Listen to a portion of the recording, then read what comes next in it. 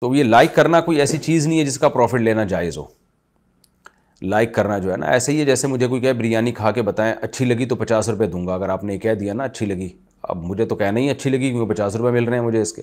تو لائک کرنا نہ کرنا یہ انسان کا اپنا ذاتی عمل ہے۔ تو یہ مسئلہ بہت دفعہ پہلے بھی آ چکا ہے۔ آج کل جو ہے نا وہ چیزوں کو لائک کرنے کے پیسے مل رہے ہوتے ہیں، کلک کرنے کے پیسے مل رہے ہوتے ہیں۔ اس پہ کافی ڈیٹیل سے پہلے میں فتویٰ مسئلہ ریکارڈ کروا چکا ہوں۔ کہ یہ جائز نہیں ہے۔ اچھا بھائی، محمد طارق افضل گڑھ یو پی انڈیا سے۔ میرا بیٹا جب پیدا نہیں ہوا تھا، تب میں نے عقیقہ کرنے کو بولا تھا۔ آئیں، پیدا ہونے سے پہلے ہی۔ اب میرا بیٹا پانچ سال کا ہو گیا ہے۔ اچھا بولا تھا، کیا نہیں تھا عقیقہ۔ اب پانچ سال کا ہو گیا، مالی حالات کی وجہ سے اب تک عقیقہ نہیں کر پائے، تو کیا ہمیں اس کا گناہ ملے گا؟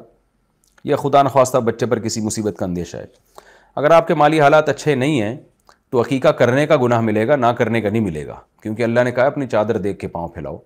تو بکرا اچھا خاصا مہنگا آتا ہے، تو نہ کریں عقیقہ کوئی فرض واجب نہیں ہے۔ جب اللہ مالی حالات اچھے کر دے تو کر دیے گا۔ تو اس میں کوئی حرج نہیں ہے۔